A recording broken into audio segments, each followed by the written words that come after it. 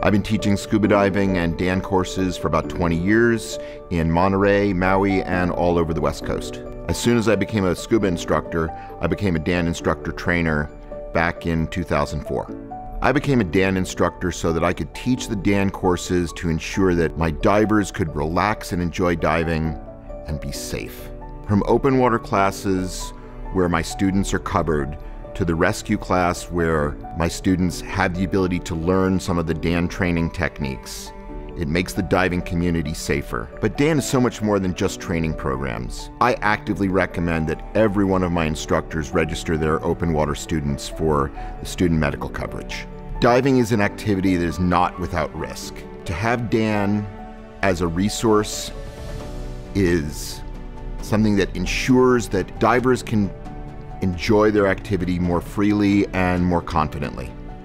I'm Bruce Weitzenhoffer, and that's why I choose DAN.